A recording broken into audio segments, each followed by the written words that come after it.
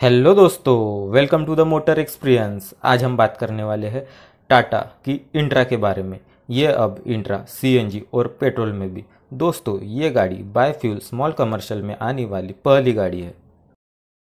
और दोस्तों, गाड़ी सीएनजी में रहने से ड्राइवरों को ज़्यादा तकलीफ़ों का सामना करना पड़ता था। उसी को ध्यान रखते हुए टाटा ने पेश किया, Tata Intra V twenty biofuel vehicle अब एक बटन दबाने से पेट्रोल में कन्वर्ट और एक बटन दबाने से सीएनजी में कन्वर्ट हो जाएँगे और आप लंबी दूरी तय कर सकते हो। गाड़ी क्लेम करती है ये 700 किलोमीटर रेंज की। और दोस्तों, जहाँ पेट्रोल महँगा, वहाँ सीएनजी में गाड़ी चलाना और जहाँ सीएनजी महँगी, वहाँ पेट्रोल में गाड़ी चलाना। दोस्तों तो आज हम जानेंगे पेलो कितना मिलता है, क्या ग्रॉस व्हीकल मिलता है suspension engine specification and gear box and price तो वीडियो में अंत तक ज़रूर बने रहिए।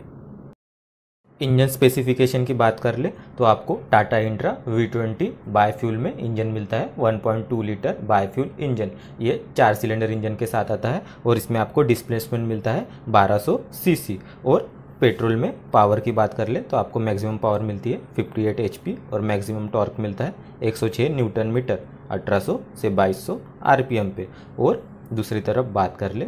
आप सीएनजी में आपको पावर मिलता है मैक्सिमम 53 एचपी और मैक्सिमम टॉर्क मिलता है 95 न्यूटन मीटर 1800 से 2200 आरपीएम पे।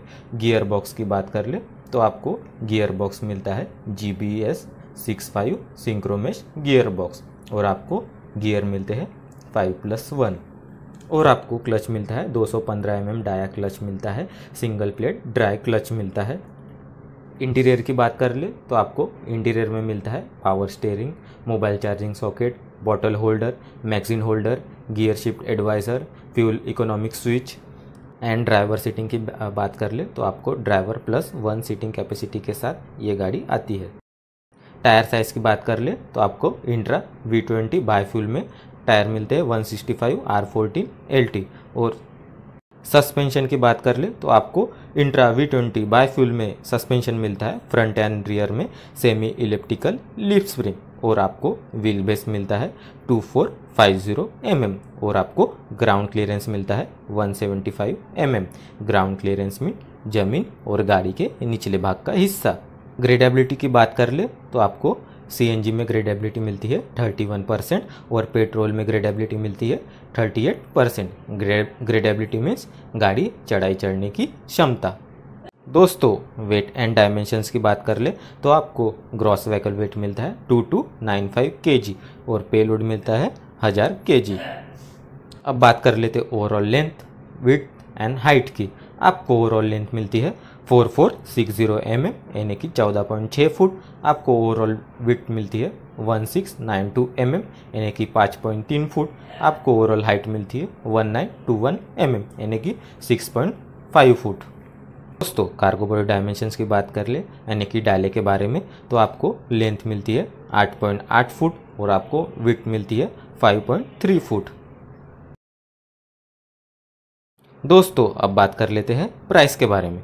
प्राइस स्टार्टिंग होती है 7.15 टू 8.50 लैख एक्स शोरूम दोस्तों, ये प्राइस हर स्टेट में वेरी कर सकती है। अधिक जानकारी के लिए आप टाटा के शोरूम में विज़िट कर सकते हैं। वारंटी की बात कर ले तो ये गाड़ी वारंटी प्रदान करती है दो साल या सेवेंटी टू थाउज़ेंड किलोमीटर्स की। दोस्तों एप्लीकेशंस की बात कर ले तो ये गाड़ी यूज़ आती है। Intercity load supply market loads fruits and vegetables e commerce close container medicine distribution event organisation mill supply LPG cylinder supply mandap decoration water distribution hardware supply and many other applications दोस्तों, video अच्छा लगा हो तो like share and subscribe कीजिए। Thank you for watching